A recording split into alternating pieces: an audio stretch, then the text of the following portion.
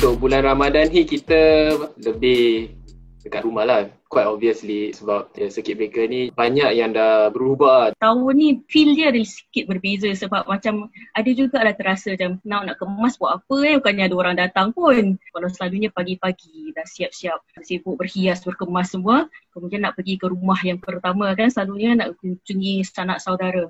Tapi tahun ni nak kunjungi ke mana ya?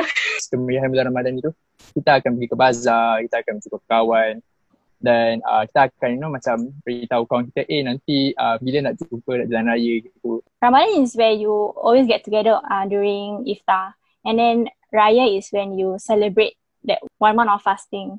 So in a way the circuit breaker breaks away that traditional thing that we have but the good thing about the circuit breaker is we get to be around our family which matters the most. Untuk hari raya pula memang ada rasa bezanya sebab lagi-lagi eh kalau kita dengar takbir raya eh tak, tak macam dulu lah biasanya kalau saya akan turun ke bawah blok kan lepas maghrib tu semua ada baca doa ada kenduri semualah sekarang kita tak boleh buat tu semua ada rasa janggal sikit agaknya tahun ni tahun semua orang nak nak rasa jadi uh, baker agaknya sebab banyak banyak barang sebenarnya dah dah habis sebenarnya kalau pergi ke turun ke ke kedai-kedai pasar raya tu vanilla essence langsung habis dah ada dah. Jadi agaknya tahun ni ramai orang yang cuba buat kuih sendiri kot. The last time kita bake cookies atau kuih raya was in the 90s lah.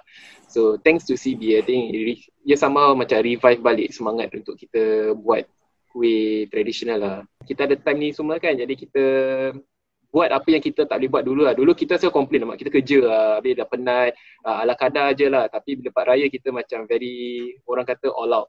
Tapi ni kali kita all out time bulan Ramadan, tapi hari raya kita uh, sederhana je sekarang is a very good time for us to be on online because that is the only resource yang kita ada sekarang. Kita tak boleh jumpa, kita boleh keluar.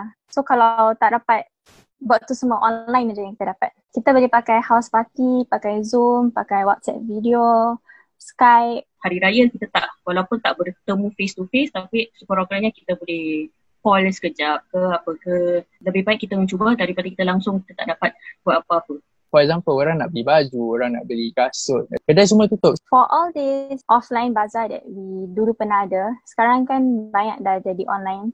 It's a good thing. Orang kata ni online uh, shopping ni semua kan dah lama dah ada. Cuma sekarang ni bila dah ada circuit breaker, uh, people start to macam realise yang macam eh actually through online business lah lagi senang. Actually they can reach out to a wider range of audience out there lah they can actually continue to do what they love lah. Bisa kita ada Gilang Bazar online pula yang kita dapat membantu kita lah untuk beli benda online. Dia dapat sikit sebanyak membantu dari segi um, mereka yang sudah beli stok untuk jual benda dan bagi kita yang ingin mendapatkan keperluan-keperluan yang kita inginkan lah. Definitely kita boleh sambut. Cuma cakap tak boleh sambut raya.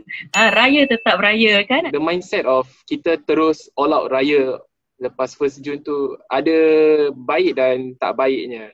Yang baiknya pasal apa kita nak lepaskan rindu. Kalau yang tak baiknya pasal apa tau, uh, kita pantang sedikit lah. Pasal doesn't mean eh uh, circuit breaker tu dah tak ada lagi benda virus ni absolutely dah dimusnahkan tau. Dia tetap ada. No point kalau kita dah tak ada circuit breaker habis tiba-tiba pasal kita jalan raya ke atau kita tak responsible eh kita jangkit orang lain atau kita dapat dijangkiti orang lain pun nanti benda ni surface up we have circuit breaker part 2 we can be more creative in terms of how we want to celebrate. Macam for example, kat lagu Hari Raya, kita just blast. Janganlah main lagu yang syahdu dan yang, yang, yang sedih-sedih pula. Macam lagu Siti Nurhaliza. Nanti dah sendiri dah sayang. Hati ini makin sayu.